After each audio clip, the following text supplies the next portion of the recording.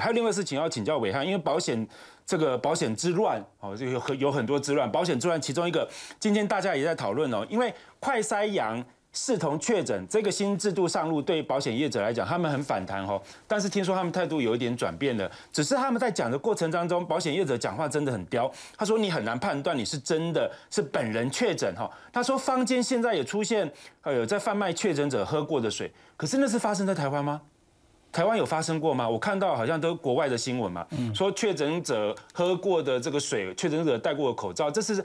在发生在韩国，我没有发生在台湾啊，但是他就是听起来很很刁钻的理由一大堆。另外一个有一个很重要的问题哦，因为今天有个新闻突然冒出来说，哎不得了哦，有一个人买了十一张，他重复买这个保单哦，所以意思好像这一些业者要开始挑了，如果你重复的话，我要算你失效，这个很多人骂翻了。为什么呢？买了当时又没讲。对啊，二月三月 要下赌注的时候，哎，每个人都没有讲。要压的时候，啊，都没有吭声哦，说哦，你你不能重复压哦，你不能怎么样。结果重复压了十一张啊，我赢了，你才说，哎呀，你重复我们都不算。这个就就就这个这个合理吗？伟汉你怎么看？如果当时重复买，不要讲十一张了，第二张买就应该直接给他退单啊。我们会集合嘛，因为你买过了，对不对？所以显然当时保险业者是欢迎你来买的，因为买的越多，它分母越大嘛。但是问题是，现在目前已经出现这种争议，这个争议会越来越多。要做刚刚公司那个讲，你怎么样才能够满足理赔的这个条件，就有的吵了。那别的，我们台湾的状况复杂，我先跳到泰国，然后再讲回来。泰国就出现有人在打了疫苗之后，他直接故意去确诊，为什么？因为他去找他确诊的朋友讲说，我希望我能够得病。后来对方作证了，那他就可以赔多少？四呃五百块泰铢，大概四百二台币，赔十二十二万多，就是十五万的泰铢。那后来，所以也因为这样，所以泰国突然很多人确诊，因为有人想要冲保单去赚那个钱。所以泰国也因为倒掉两家保保险公司嘛，四月才倒的啊，后来倒掉了四家，对，现在现在变四家，对不对？因为太多人这样，那我们台湾现在倒回来看，就是既然有那么多人保这个保险，连死亡都有人诈诈保，在故意，对不对？就是保了以后才去，真的这种这种也一定也会有，只是这个已已经不是我们现在目前眼前最关心的问题。保险公司现在头很大，因为每天那么多人确诊，那这个东西后续再看看那些细节，我们再来讨论。好，最近大家都觉得陈时中是不是真的该下台了哈？因为他讲了太多让人家没有办法接受的。这个话哈，比如说什么没有药，他说啊，你没有去，你那感冒吃不到抗生素，你会国家赔吗？哦，然后什么被呛下台，他说，哎呀，大家心情不好，过去了就好。然后脱一块塞，这个赚很大，他说啊，那你就不要去买啊，嫌贵就不要去买啊。好了，讲的话大家已经完全不能接受了哦。啊，当然也有网友讨论说，三个想要选台北市长已经两个中标了，好，包括蒋万也确诊了，黄珊珊也确诊了哈。然后还有一个这个问题是陈建仁。好，这个林卓水点名他，哦，说陈建仁从这个副总统退下来之后，像国师一样哦，指点江山。他说你接受英国卫报的时候说，我们快筛试剂不够，但问题你在半年前，你同样接受国外媒体的时候，你告诉大家台湾应该要。与病毒共存，我们真的查了一下，哈，去年跟今年一月，他都讲要跟病毒共存。那你身为国师，身为前副总统，你怎么没有告诉陈时中说，既然要共存，要做什么样的准备？现在才发现啊，快筛没有，药没有，什么都没有，一塌糊涂，什么都没有做。然后现在有人就怀疑说，陈时中真的中了，中了什么？中了一种病毒，什么病毒呢？来看一下这一段。这边要为各位踢爆一件事情。就是陈时中已经中了馆长病毒。啊，记者会赶快开始了，嚯！每天浪费我那么多时间开这记者会要干嘛？反正病例数就是超过基本薪资很多啦，不要再问我了啦，哈！这就是我们的金台湾模式。哎呀，不要怪我，为什么确诊数现在比基本薪资高这么多？要怪就怪病毒，怪怪蔡总统，干嘛找我当指挥官？一做做两年多，啊，有什么问题？赶快问。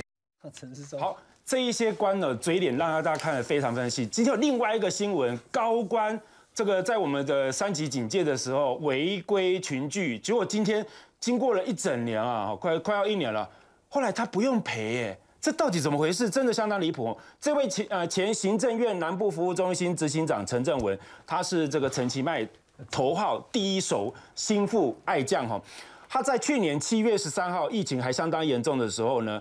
跟一大堆建商哦，老大老板跑到屏东的 V 啦，哈，牡丹湾非常漂亮，去那边吃火锅，那被爆料，当时呢，屏东后来调查就把他们这个开罚哈，罚十万块。可是经过这么漫长的这个这个这个调查哈，卫福部说哦，不用不用，他不用罚，好判他免罚，这怎么回事呢？来细细说来，这个是被拍到的第一张照片，在餐厅里面没有戴口罩，啊，有人走来走去吃东西。后来业者说没有啦，我跟你证明，我跟你证明，他们没有吃东西，他们只是刚到，然后进餐厅里面放东西。好，然后第二个说法说，哎，那因为我们餐厅，因为一般来讲，这种 villa 一定会里里外外都装监视器嘛，除怕你有这个小偷出状况。就他说没有，这个我们餐厅刚好没有装监视器，好，有装监视器的地方呢，刚好没有保存画面，就这么巧，好，一切就就这么巧。所以卫福部说，好，第一个，你屏东县政府你根本没有证据啊，好，啊，第二个，另外一张照片，这个四个人没有戴口罩，然后这个聊天说地的，他说，哎。因为规定是不能超过五个人，所以他也没有违反这个规定。所以一来餐厅的没证据，二来群聚的没有超过五个人，所以他们认定就是不用罚哦。啊，当然很多人就想说，哎，这个我我我们其他的这个民众啊，其实情节都相对的可怜，而且是很无辜的啊，反而要被罚。高官搞到这个样子，而且他是跟建商，哎，对，这合理吗？好，我们先来讲一下陈胜文是谁。陈胜文在二零一八年的时候呢，他选的是高雄的议员。然后呢，那个时候二零一八年的时候，高雄的市长是谁选的？是陈其迈。所以呢，有图为证。对，所以他们是手牵手的，等于说呢，他就是他的嫡传大弟子就对了。但是呢那个时候大家不要忘了，那个时候他们两个都落选。落选的时候呢，一个到台北，陈其迈到台北当了副院长。然后呢，所以他的大弟子就安排了行政院的南部办公室当执行长。所以等于说两个选这个民意代表都输了，然后呢，都到了行政院来当高。官都输，然后都高升，都高升，然后当了高官之后呢，这个南部的建商跟代销业者呢，就请他们到 villa 去吃饭。那一个一一晚的 villa 大概住一万块到两万块之间。好，他们自己花钱，我们也不在意。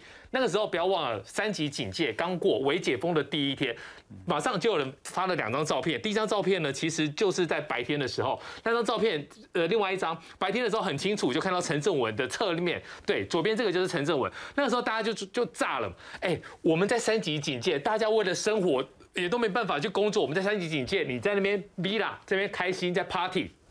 晚上的时候就出现了这一张，这一张就是吃火锅的照片，所以呢，大家就炸开了嘛。炸开之后呢，我们就传闻听说了，这个就是听说了。好，听说行政院就讲说，你们这个只要名字上报，名字上报之后呢，你就自己走路。那如果你真的没事的话，为什么会有这个传闻出来？结果陈正文呢，马上他就怎么样请辞了。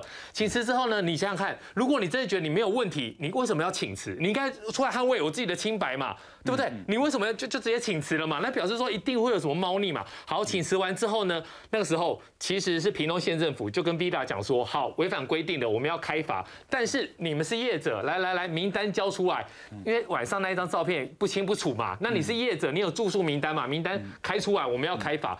好，这个名单也是 Villa 给的，Villa 给了十五个人的名单，然后呢，一人才罚十万，有九个人就已经付了，所以当时候大家就以为说这事情就结束了，因为我们已经开罚十万了嘛。好，那你就开罚了，你就付了，就没有想到陈正文跟一些朋友有六个人他不愿意，他就提起诉愿，提起诉愿之后呢，卫福部就去调查，就像要说哥达你刚才讲的监视器啊，有些镜头没有开，有些呢没有保存，然后这些照片，哎，晚上我们也不清楚到底是谁。好。打哈哈就过去了。他过去之后呢，卫福部为什么要撤销？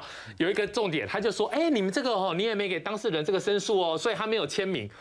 没有签名就可以不用罚吗？好，这个后面还有一个状况，就是说呢，卫福部你不是说你说的就算嘛？你丢回来给屏东县政府，你有两个月把这些资料补正，因为当初谁开罚的，就屏东县政府，所以呢，你。应该要怎么样？我努力去收集其他的证据，我努力把这件事情、把这个采采访给弄下去，就不是，他就闷不吭声，就这样子平平安安、顺顺利利的过两个月，说啊，我没有找到其他证据，所以呢，这撤销就不用罚了。整个状况你不觉得这很离谱吗？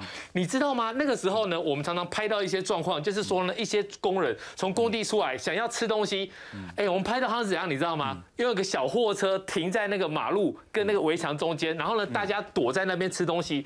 哎，我们这平民老百姓，连吃个便当、喝口水都要这样子，为什么要这么紧张？因为那个时候呢，其实就是全面开放。讲的，我们还真的准备了例子哈，比如说同样一个时间哦，去年的七月，那有民众呢，他们这个夫妻两个在车上哦脱口罩，哎，结果人家就看到了，直接去开单。对，哦，就说哎，你这个这个你在车上啊脱口罩喝水，还不是吃东西哦。就喝喝水，哦，维持生命运作必要的喝水，居然也要罚，好要罚三万。还有另外一个在也一样，去年五月的时候，也在三级警戒的时候，有一个民众啊傻乎乎的，他帮他这个他的丈母娘雇这个这个钥匙店哦，就是而且钥匙店门是关着的哦。结果那个房这个呃这个所谓的卫生单位的人员啊走过去，就看到他一个人在里面顾店吃便当的时候脱口罩，所以就敲门。敲了门之后，他把门打开，然后就他本来以为是人家上门来宣传的、卫教的，结果没想到是开罚，就罚了他了。真的，真的是。还有另外更扯的，也是一样。去年的七月，有个工人一早，因为那个时候规定不能在外面吃东西嘛，但工人真的肚子饿，他又没有地方，因为工人不像我们有办公的居所，他没有，他就在外户外里面这个打零打工嘛，所以他就窝在一个角落，而且还是自己窝在那个墙角的边边角的角落。结果这样子呢，警察开过去一样给他开三千块的罚单。对，那个时候其实去年这个时候，大家已经是杀无赦了。最后引发争议之后呢，就当然就没了啊。但是其实不要说这个台湾乱象一堆了，我们看到现在包括在北京跟上海有很多这个大家说是奇葩的规定哦，这个要请教兵哥哈。包括现在传出来说有从机场入境的，直接就把这个民众护照剪了，不让你出去了。还有包括这个要上要建立在大的城市要建立十五分钟核酸采样圈哦，这代表说他们要常态化的做 PCR，要变得非常非常方便。那十五分钟是代表什么？半径一公里，然后这个圈圈里面可能就会有大概，比如以上海来讲的话，就是大概有六到十万人，要让他们变成常常态化，常态化就是要可能听起来好像是要一直清零下去哈，那可能每一年会耗费这个人民币一点四五兆元。还有另外一个，北京有一家公司现在被爆料说他们在家工作的时候，他们用视讯有有用这个软体去抓你，说每五分钟就会截图你的脸。如果截不到的话，超过八十九次就算旷工了，旷职了，哦，可能要这个惩处，或者是要扣你的钱。还有另外一个，北京，因为现在之前有传出公厕染疫，所以呢，啊，这张照片不是北京了，这是武汉，这是网友这个自己延伸出来的一个话题，哈，说厕所里面怎么出现洞。然后，当然了，这个北京的现在的做法就是说，哦，既然公厕里面会有人感染的话，而且传染了很多很多人，所以他现在上个厕所，你必须要有四十八小时内的。核酸检测，好，那甚至呢还规定厕所不管多大，如如果不是很急，就要一次一个人。但民众都问说：“哎呦啊，谁谁不急啊？啊，人生有三急，上厕所怎么可能不急呢？”兵哥怎么看？昨天有个消息，就是一直以来零确诊的北韩，现在已经承认他他有人确诊。他们是枪以前的说法不是直接枪毙吗？当然没有，他们他们以前都说是完全清零，从来没有人确诊。我说他他们承认了，对他们现在终于承认有人确诊，金正恩已经下诏全国要动员，然后来对付了。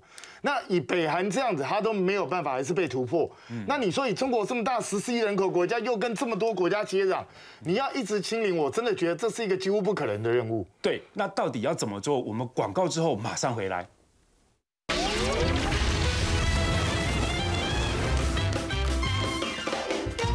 大家好，我是谢耀洲，拜托请大家拿出手机，打开 YouTube，搜寻国民大会，按赞、订阅、分享，开启小铃铛，检查一下，因为听说有些人按这个订阅之后，之后还会跑掉，你检查一下，看订阅还在不在。如果你已经订阅，没有关系，你周边的亲朋好友帮我们拉拉票，请他们也订阅，而且要帮我们多多分享，谢谢谢谢，拜托拜托。